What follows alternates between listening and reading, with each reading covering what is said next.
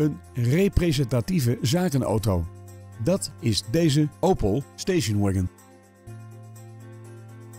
De aandrijving van deze Opel komt voor rekening van een 4-cilinder benzinemotor en een handgeschakelde vijfversnellingsbak. Met deze auto bent u altijd comfortabel onderweg, dankzij extra's als airconditioning, een lederen stuur en verstelbare lendensteunen. Als speciale veiligheidsfeature heeft deze Opel bovendien actieve hoofdsteunen. Deze auto is bovendien uitgerust met lichtmetalen velgen, een trekhaak en metallic lak. Hebt u interesse in deze auto? Neem nu contact met ons op en we zetten hem klaar voor een proefrit.